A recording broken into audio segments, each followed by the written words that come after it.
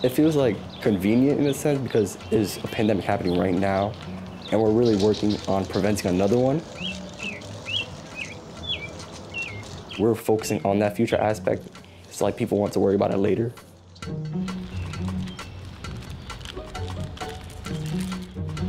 Because could be that they're like also up there, right? So.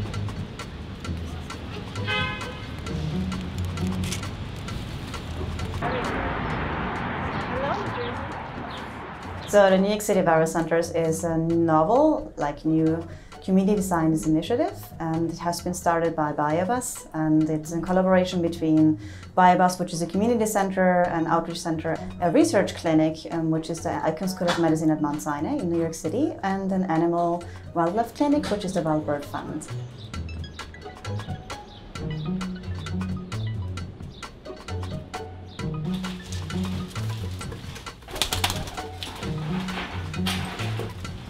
I actually conceived this idea before the pandemic happened.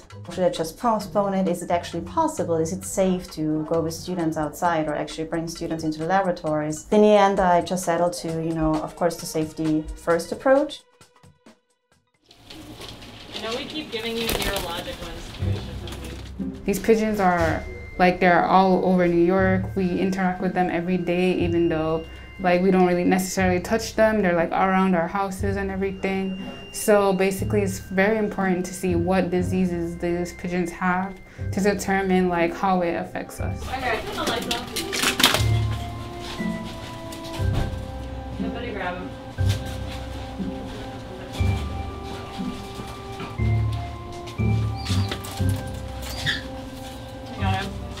I'm really excited to just see like out of all the samples we do, and we have collected hundreds and plan to collect probably a few thousand samples. Um, the goal is to sort of see like, okay, what percent of those come back with some virus? I'm sort of the scientist mentor uh, to the students or to the junior scientists, which is what we call them. I want them to feel like they can always ask anything to me. I thought I was gonna be like kind of grossed out, but then I was like, oh, this is this is kind of fun. This is kind of cool, like taking samples and then uh, knowing that this is data and that I could find something. It's like something really exciting. Okay, so did you guys finish with uh, this this Lysy guy? Birds are really the key to understand what influenza viruses are out there and also a key in understanding which ones are dangerous and which ones are not. Most viruses don't do harm to humans or even to animals. There are just many, many, many viruses out there. Some of them are actually also beneficial. There are scientific questions that we are trying to answer, uh, but there's also other things that we are trying to do with it, uh, including science outreach, and uh, enhancing uh, careers of, of, uh, of uh, students and make sure that they get exposure to virology and to STEM in general. Like on one of those machines where you're like attached to a string, you're just pulling in a straight line. So you just hold it down with these fingers and pull up with these fingers. And same for here.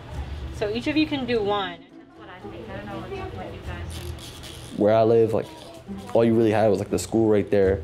The library was pretty far away, and transportation was like kind of limited. So I need to like really stick with what I had in my own home and like use the books that were like left over from my older brothers, kind of. My biggest role model was probably my mom, my dad. They came from the DR, the Dominican Republic, and they came here just so like me and my family could have a better life.